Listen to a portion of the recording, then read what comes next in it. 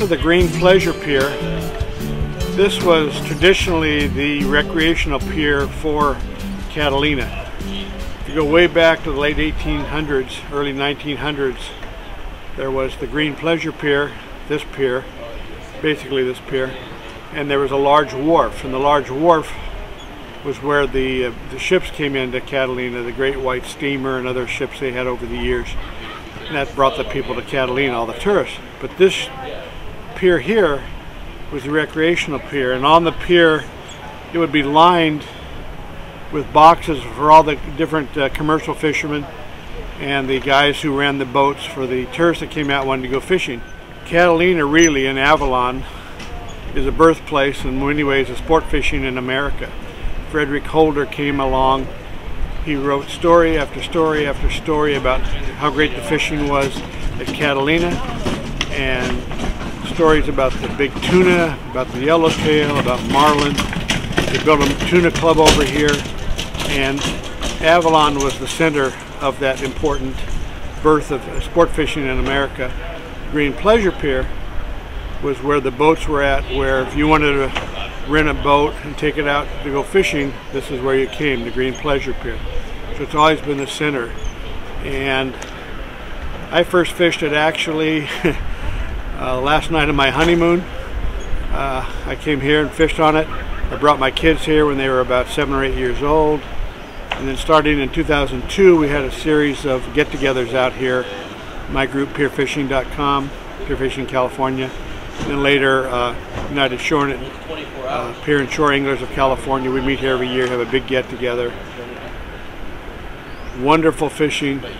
It's limited space now out at the end. It used to be 30, 40 years ago you could fish along most of the pier.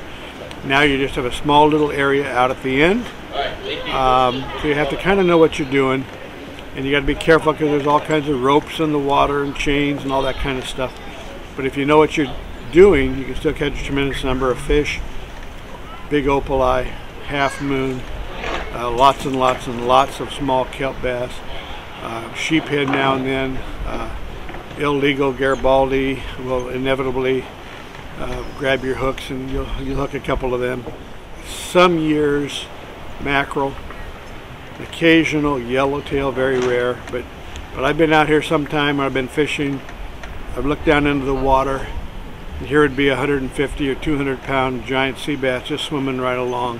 As clear as possible. The water here at the Green Pleasure Pier is crystal clear. You can see all the way to the bottom. And it's always amazing when you see a huge giant sea bass come just swimming along. Or one day we saw a bat ray that we all estimated had to be close to 150 pounds. It was so wide, just swimming right along the bottom. And uh, next morning, matter of fact, I hooked a big bat ray and he tangled up on the bottom and lost him. Huge bat rays down there. So, great pier for fishing. Him Catalina. You're going to see the Green Pleasure Pier. Bring your rod and reel. Bring it out to the end out here and try to catch some fish. Not a big pier, small pier, doesn't take a lot of people, but it's a lot of fun. The Green Pleasure Pier, Avalon. Okay, we hope that you watch our pier fishing videos. We have two aims. One aim is to educate people how to be better anglers. And secondly, we hope we entertain you a little bit. Hope you enjoyed these films. Watch the films. Hit the like button. Hit the subscribe button. And keep watching.